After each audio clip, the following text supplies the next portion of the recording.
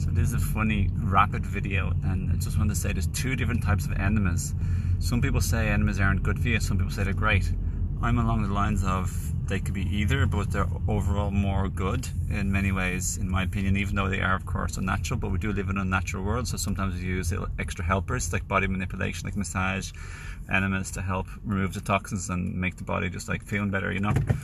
So, basically speaking, you don't want to do enemas as a substitute for pooping. That's not good, apparently, over the long run. You can become like dependent, although I haven't met anyone who has. But the other thing, so what you want to do is after you poop, then you do an enema. It's almost just like a flush, a rinse, an extra like getting rid of air pockets, an extra like drier matter. It hydrates.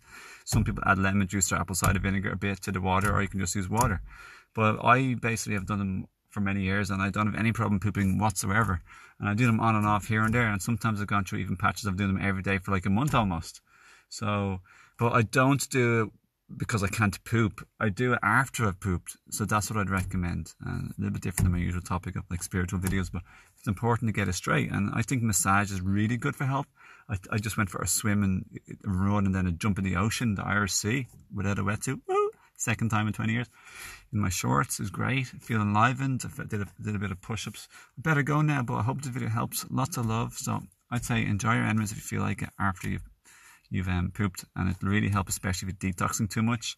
Um, for example, if you're doing a cleanse, a juice feast, or taking like colon or like intestinal cleansing formula, herbal formulas, that type of stuff, because you don't want too many toxins to be eliminating in your system. You can feel, I can feel like absolute crap sometimes if that happens.